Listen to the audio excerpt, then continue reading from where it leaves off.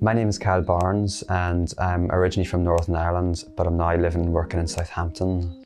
I've been painting for a long, long time now, um, even though I'm still relatively young. So did it for GCSE, A level, uh, then went on to foundation and university and got really into oil paints then, in, in particular portraiture. I'm quite interested in looking at the the face as a landscape, you know, um, creating that sort of depth and, and, and bringing character through and always allowing my brush strokes to be at the forefront of everything. Whenever you're up close, you can you can see the brush strokes, and yet whenever you step back, there's this um, kind of moment where there's an illusion of um, reality. You know, you've got this raw paint sitting on the canvas, but only from distance you can kind of see that it creates this bigger, broader picture.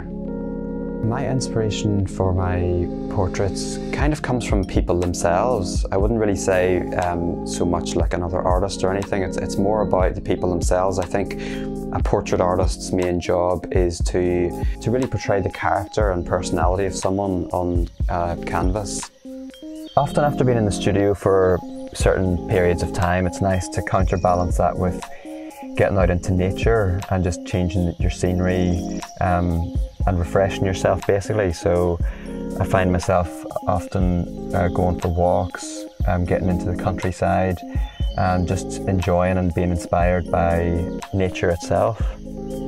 My goal as an artist is to constantly improve myself um, and to, to pay tribute to the person that I'm painting.